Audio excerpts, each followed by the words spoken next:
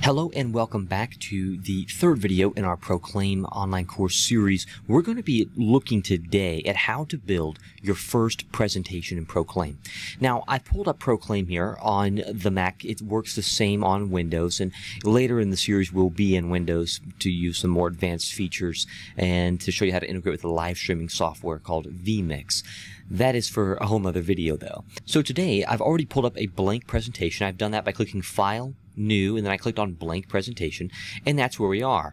And many times this is where you might start or especially if you're just starting out with the software this is all that you have. You don't have anything else to work with.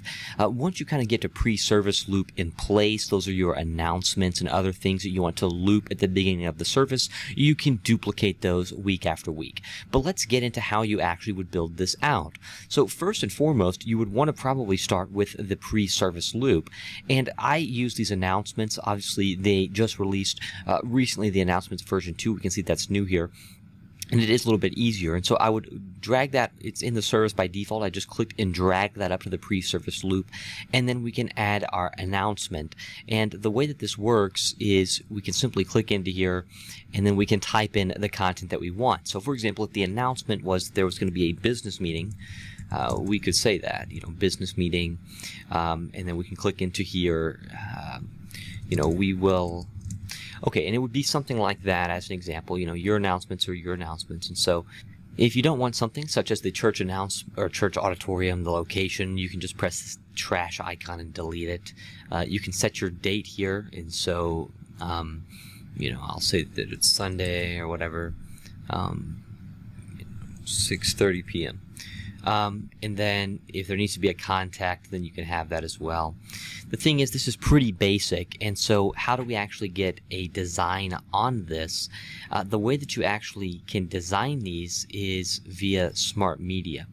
Um, so click on Template at the top, and it works a little bit different for songs, but if you click on Template and then Browse, you will be able to click service items announcement version 2 so we have content which is going to be more for your sermons. We're going to cover those later. Songs bible. Click on announcement v2 and you'll see all of the different announcement options that you have. So if i liked this one right here um, then i would just press apply as smart media. If i do add as a new item it would actually just create a new item for me here. But if i if i wanted it to be you know, uh, if I wanted to apply to this already existing announcement, then I would have to press apply as smart media. So by doing that, I just pressed it and as you can see, it just changed the fonts, the colors, the background, and it did all of that pretty much for me. It did actually bring back our church auditorium. So if you don't want that, you would have to um, go modify that again. Okay, so that's how you do the announcements is you simply add the items and it's as simple as that. The other things that you can do is you can have different content. Let me give you an example. If you want to have a Bible verse, you can do on-screen Bible. And you could choose a verse. Uh, so, you know, you have all your different Bible versions up here at the top. ESV, New King James, there's tons of versions. I believe that there's 25 and that you can purchase more over here if you need them. Um, and so you can pull up a verse. And if you want this verse to show, um, type in the verse and then just press go. And then this would actually loop in here. So let me give you an example. We'll press play. And so this actually brings the verse right here. It's very cool how that works. We'll talk more about that here shortly. But just to show you, this would kind of work automatically and it would bring the verse up. So if you wanted to have some scripture inside of your pre-service loop, you can do that. Okay, and it would advance forward after 10 seconds. We're not going to wait on it. So you would build your entire pre-service loop if you wanted that. Announcements, any scripture. Another cool thing that you can do to kind of kill time, I guess, so to speak, is use Bible trivia. So Bible trivia is right here. You add how many questions you want, and you choose the theme. You have dark, light, also fun, which is more kind of kids and stuff. But depends on your church and, and how things are there. Um, I, I kind of prefer the light one, and I've used this at church, and so people can go play along at the address shown. They don't have to, though. Uh, they can just simply sit there and kind of answer in their heads, and that's how we've seen a lot of it happen at our church. Okay, the warm up here is going to be the period before. So, for example, if I put items in the warm up, um, for example, a video. So I could click on, and I accidentally clicked image slideshow. Let me delete that. I just right click to delete that. Um, but if I wanted the video to play before the main service started, I could put this here in the warm-up. So everything here in the loop will loop until it gets to our service time. So let's say that our service time started at 6 p.m. on the dot. This video, when I add the video, so we'll browse media, and let's go find a video really quick. Um, so let's say that it was, you know, let's use this worship service intro. So we'll um, apply to the video item, so it's going to apply it here. Now, I actually, I don't have, I have not purchased this video. So that's why you're seeing the lock icon here. And we can talk more about media another time in a different video. But the point here is that this video is a minute and eight seconds long. So this, the pre-service loop will continue to loop pretty much forever until a minute and eight seconds before 6 p.m. So the pre-service loop will go. And then when when you know i guess at 558 you know 52 that's when this warm up would trigger. You can add more items in here and it will calculate the time. So just as an example if i brought in you know an announcement item so i'll copy this and bring it down here. That's five seconds right here. Uh, the reason that it's five seconds is because we have the auto advance here. And so we can set that to 10 seconds if we wanted it to. And so now we can see that it is 1 minute and 18 seconds in the warm-up. So it will automatically start based on this time right here in the blue, 6 p.m. Then you actually would get into your service items. Now I'm going to collapse these just so they're not in our way. And our service is what's drawn up here. Before we get into the service, I want to quickly touch on the post-service loop. It's the exact same as the pre-service loop. It does have to be manually triggered. You have to click the first items, um, you know, you have to click the first item in the loop and it will continue to loop through it. So after the service is over, you click this. That's pretty much as people are exiting maybe your church, you would have that playing. Uh, again, the announcements may be a thank you for coming, these sorts of things. Now, I'm not going to cover that further because it's the exact same as the pre-service. So we're just now going to focus on the service and adding in items. So the first things first is we have different media items. Normally you're going to start your service either with Bible or song. That's how most people do it. Sometimes there's a video, but we would normally include that in the warm-up like I showed you earlier. So uh, let's go ahead and start with a song and we'll add that song in there. Now Proclaim likes to put this stuff in the last section you were editing, so I'll just click and drag it down very easy. I'll collapse the warm up again. And we're now in the song here. One of the best features of Proclaim is that you don't have to manage your own library or database. So it says, search Faithlife Music, the hymn base, and SongSelect to add song lyrics or create a new song if you don't find what you're looking for. That's the best part of this software is that you do not have to always type in the song. So if I'm looking for, let's just say it's a more traditional service, so we're going to sing To God Be the Glory, I'll just search that. So to God be the glory. And these are my songs, but down here as well, the hymn base has it down here as well. So obviously over time, we've been using this, and so we have created our own songs. But down here, you can see as well that they have that hymn right here. So I'll go ahead and just click the one that I've created. And we can see that it showed up right here. Um, so we have a title slide right here at the top and then we have all of our hymns. If you don't like the title slide, just come down to the bottom where it says show title on title slide, just uncheck that. Now you don't have a title slide anymore. Obviously there's no credits either. If it was licensed by CCLI, you can add that to add your number here. And so that would show up, um, you know, or, or, whatever. And that would uh, show on the title slide. So you would see CCLI license number and all that. So if that's important to you, you can add that. I'm going to get rid of the title slide for now and the way that the song engine works here is that you have your verse and so for example you can see these headings verse 1 verse 2 verse 3 and then chorus.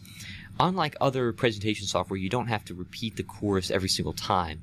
So what this means is that up here in the top where we have this now if we uncheck that then it's actually just going to it's going to play it just like we have right here. So you would have to repeat the chorus. However, you can check this box, which is checked by default, and I'm going to delete all of this just to show you. But it shows you what you have here. So if I wanted the title slide, I could click it, and it would show it. I'm going to delete it. I don't want it. Um, and I'm going to press verse 1. Now it's asking me what's next. So we have the two slides here. Well, next is chorus. Okay, so chorus shows up. Then verse 2, and then chorus, and then verse 3, and then chorus. But you can customize this however you want. So maybe you actually don't do the chorus after verse 2. Maybe, you know, this is a different song, or you're doing it a different way, and you want to go from verse 2 right to verse 3. You can do that, and it's actually done that for you in here. So it's very easy. You can also just manually type. If you want to add it back in, it's easy enough. So we've added it back in. And that's how it works. So you use these headings right here, verse 1, verse 2, uh, and then chorus. And so you can do pretty much infinite level of verses. Bridge is also supported if you have a song that has a bridge. So um, to apply like the styling to it, uh, the way that that works is you go to background, browse media, and you choose on service items, you choose song. So previously we chose the announcement, and we're now going to choose song.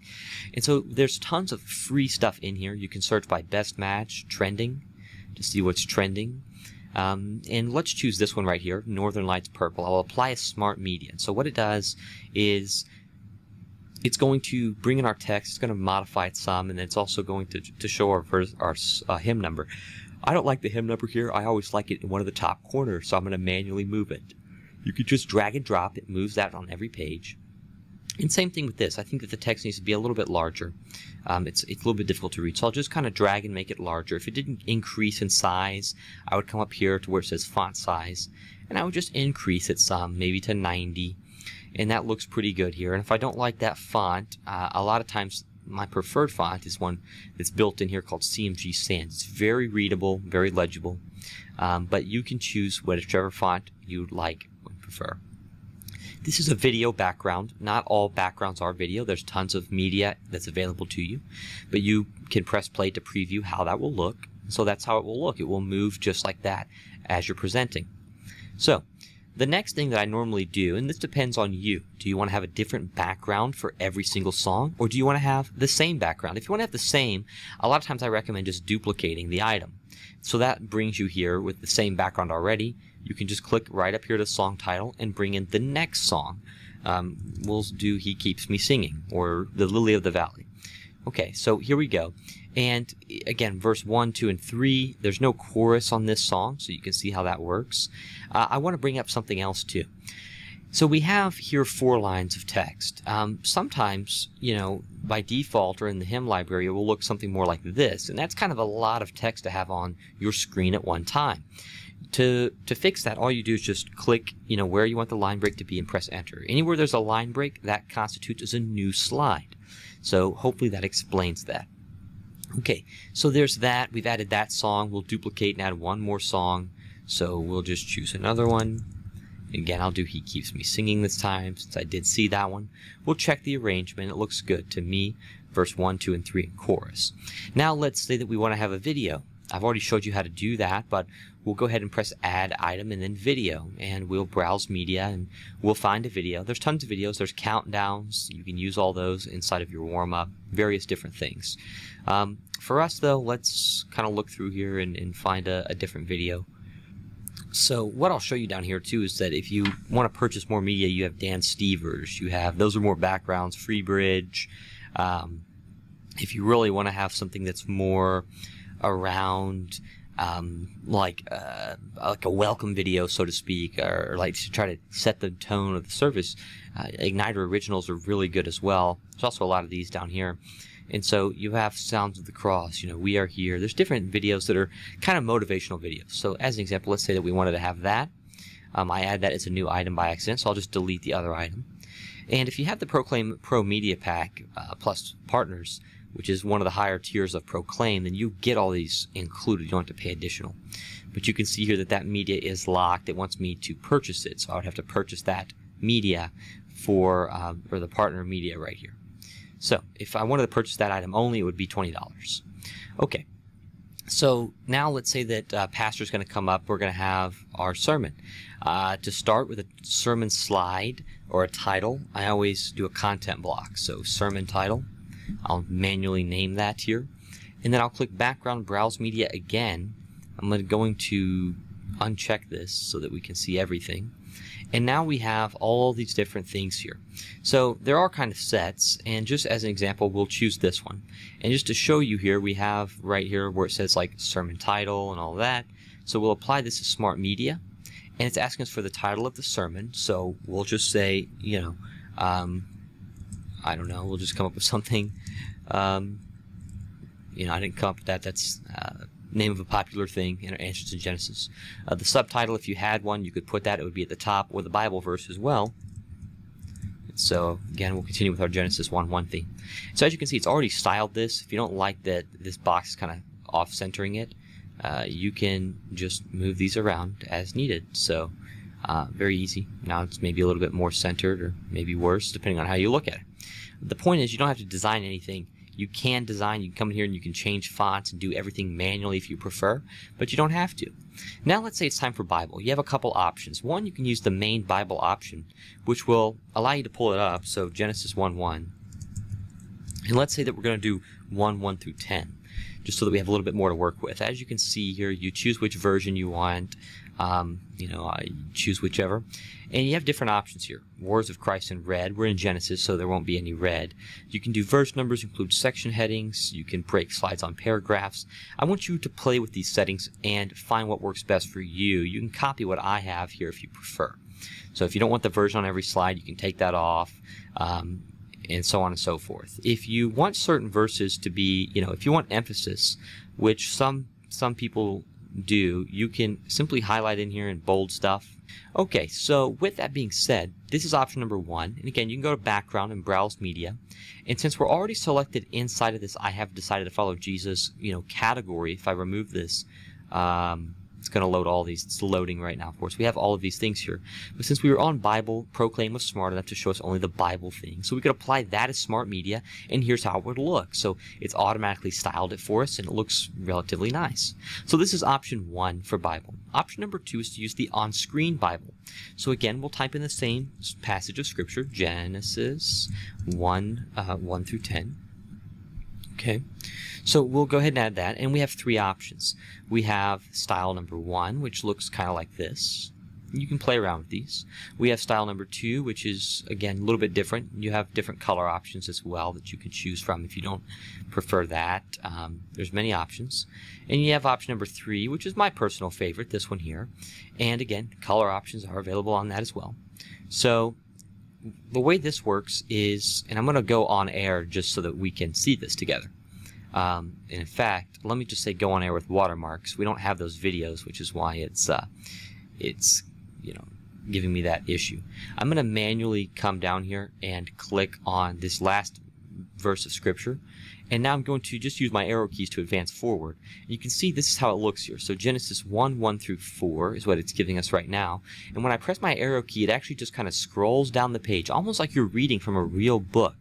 This is very cool. There is a little bit of a delay, so when I click, it has that transition to kind of fade it down. So you'd have to time it correctly on your end, and we're now at the end, so there's no more verses here. Uh, let me go back to edit mode for now.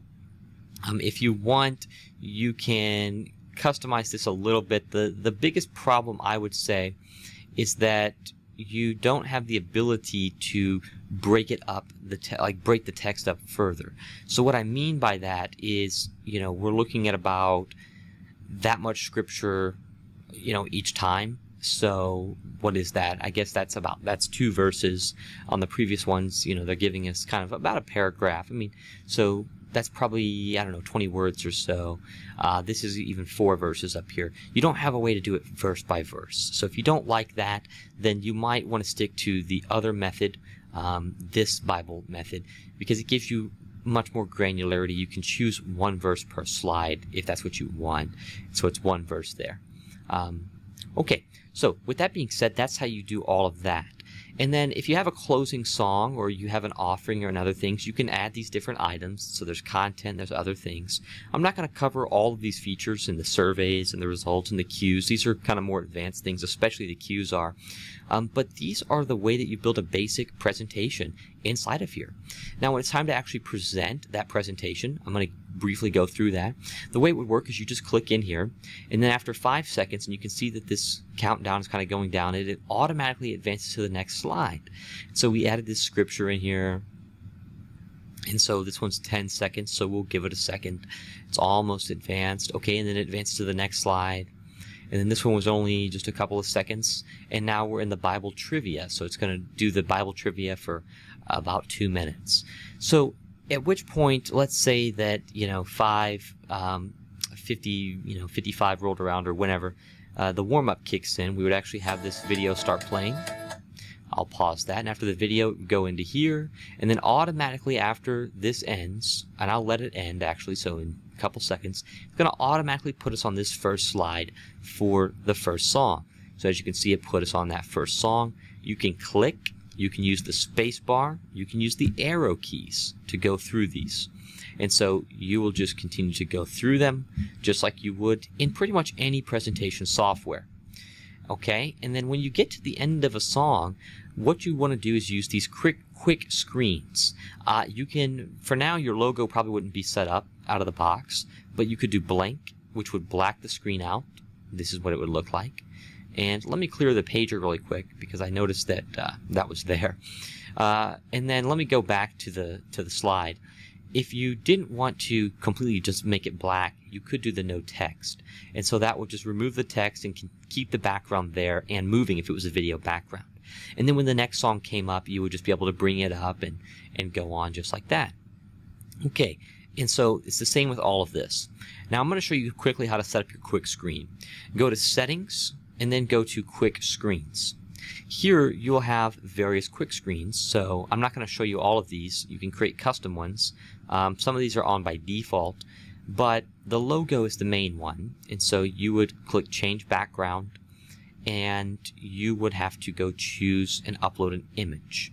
So that's what we did here, and it's as simple as that. Um, that's really all there is, is you have to create a slide with your logo on it, and then you upload it by clicking import, and then you would go find the file on your computer and upload it. So then anytime that you clicked that, it would bring up your logo on the screen.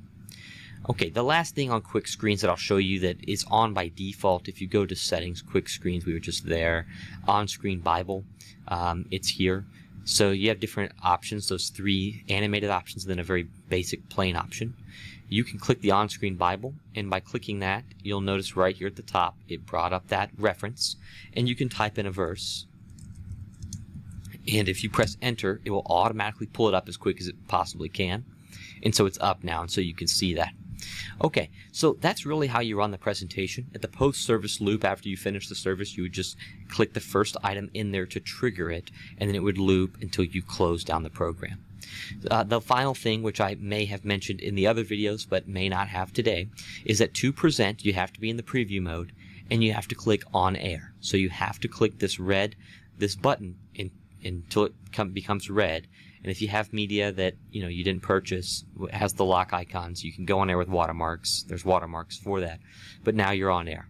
Okay, so we'll, we haven't uh, talked about setting up the outputs and the displays, but we'll cover that here in the next video. Thank you for watching, and I hope to see you there.